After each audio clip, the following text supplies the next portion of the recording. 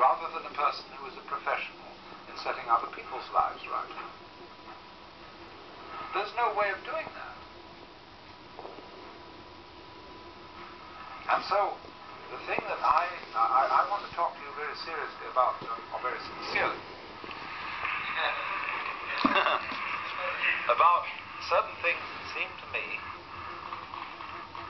important